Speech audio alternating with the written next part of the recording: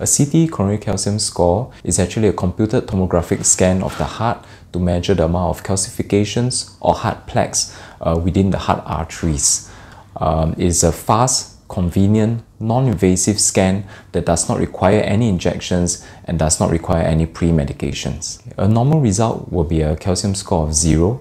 This indicates no hardening or calcification of the heart arteries and generally confers a very good prognosis in terms of very low risk of heart attack, sometimes uh, from research even in the next 10 years. The repeat calcium score can be useful.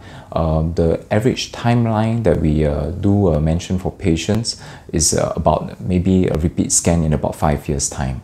A calcium score of above 0, even if it's 1 or and above, does indicate the presence of arteriosclerosis and this can be helpful for your cardiologist to guide management to start statins, which are cholesterol lowering medicines, or if let's say the calcium score is very high, then sometimes further tests might be needed, such as stress testing or even uh, invasive coronary angiogram.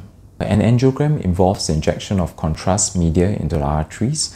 This is uh, different from a calcium scan that just looks at hardening and calcification of the blood vessel walls. Therefore, a CT coronary angiogram is able to look within the vessels and detect as well as quantify the amount of blockages. There is very minimal risk with a coronary calcium scan. Uh, the only uh, minor risk is that of a very low dose of radiation.